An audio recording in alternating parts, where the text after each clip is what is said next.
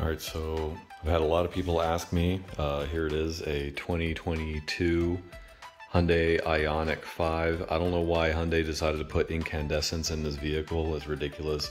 But I swapped out the front turn signals right here with uh, LED bulbs as well as the rear, uh, the reverse lights, and as well as the uh, vanity bulbs as well. She's dirty. Don't don't worry about that right now. Super easy to do. At least the fronts were really easy. So for the front, you can see right here, there are these little clips. Okay. So turn the wheel. Uh, if you're doing, this is the passenger side. So if you're doing the passenger side, turn the wheel to the left. There's this one down here. There are two underneath do this one and this one. Do not need to take that screw out and then literally just pull the fender back and then the bulb you can see. So that's where the bulb is. The bulb is literally right in here. You can you can reach in there and just literally it's just a typical uh, bulb uh, inset where all you got to do is just twist it pull out replace the bulb put it back in, twist, and then you're done. Now for the rear. The rear is significantly harder. So I'm assuming the way Hyundai would probably have you do it is you would have to remove the back wheel here. You would have to come under here. You would have to remove the rear mud flap you would have to remove several bolts here and then you would also and then eventually be able to pull this out. But you would also have to pull this trim out this so I mean I started to. It's really hard to get in here so there's a couple screws here there's a couple screws underneath. There's these screws right here all the way up this trim right here. And then there's screws in here there's this bolt right here. There's not a whole lot of room and then on top of that you have to do that. So what I did is if you look underneath, there's this little plastic piece right here. It runs the full length of the back, okay? And there's these little clips right here, the same little clips, all right? So the reverse light is right here. So if you look, it's directly above where this little piece of plastic is. Okay, it's, it's only about this big right here, runs the full length of the car.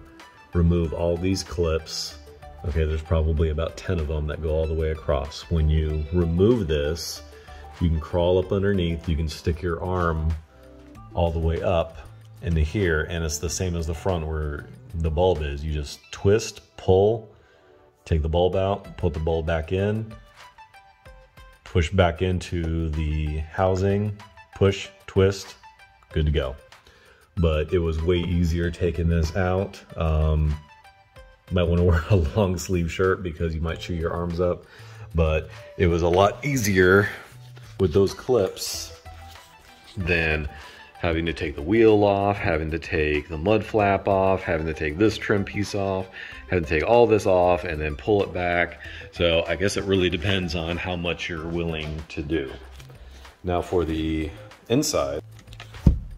So for the inside, um, pretty self-explanatory. You just take this right here. Um, I would use a plastic pry tool, but you just can literally take this out right here. The whole piece pops out and then there's a clip behind it. You just can remove this whole piece right here, pull the whole thing out, take the festoon out, uh, replace it with the LED, and then you can see here that is mega bright.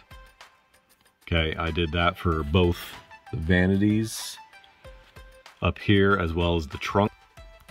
There's the trunk. You can see that is crazy bright. The trunk is the same way where you can just pry this off with a pry tool. It's got a little clip on. You just undo the clip, take the festoon out, put it back in, easy peasy. So real quick, gonna show the bulbs that you need to use. So these are the turn signal bulbs. These are the vanity festoon uh, bulbs as well as the trunk as well. And then these are the rear ones. Now I had a heck of a time trying to figure out uh, specifically which front and rear ones to go because you can look in the manual and it's not really specific. So for the front, I grabbed these Lasfit. All right, these Lasfits are amazing. I use these on my Veloster over here and they are great. Don't trip a CAN bus. It won't give you any error codes, nothing like that. Um, unfortunately, I don't show what they actually look like, but very high quality too. So the front turn signals are 1157A, okay? Those are the front ones. Uh, you can get these on Amazon. Uh, these are a little expensive, the Lasfits. Uh, these are about 40 bucks, uh, 40, 50 bucks, depending on, um, you know, when you're getting them and uh, the actual type for the car. But I know specifically for the Ioniq, these are about 50 bucks. Um, well worth it though. Uh, highly, highly recommend Lasfit. Now, as far as the uh, vanities and the trunk, um, I got these ones right here. These are just typical festoons. Uh, however, I mistakenly got the 39 millimeters.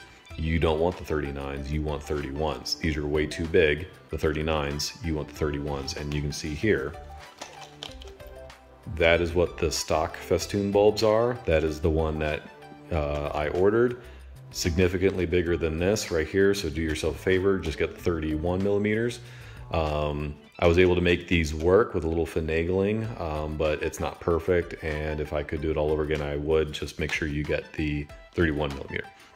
Now for the reverse lights, again, had a heck of a time. I ended up having just to take the, uh, these are the stock bulbs, I had to take the actual bulbs, AutoZone, compare them because again, the manual wasn't really specific and nowhere online was really specific. So you want the 7506 uh, also fits 1156. So as long as it, I believe 1156 is the more popular one. Uh, so if it fits 1156, then you're good. Specifically, you need to make sure that it's got these single connectors down there at the bottom. I kept the ones I kept on ordering that everything said that fits this car uh, had dual connectors down here at the bottom. They're not the dual ones, it's the single ones. So make sure you get the correct ones again, uh, 1156. But that's what's going to fit this car. And then there's the LED bulb you can see, very, very bright. Um, I love these Lasfit bulbs. They're great, they're fantastic. And like I said, they don't trip uh, any kind of error codes. Uh, it'll keep flashing like that, good to go. And I wanted to show you kind of what it looks like. So this is on my Veloster. You can see the, the bulb a little bit better, but you can see those bulbs are pretty big, um, but you don't have to worry about the size or them fitting in there. They'll fit in there. So again, this is on my Veloster and uh, they fit perfectly. So yeah, highly recommend. Uh, if you got any questions, uh,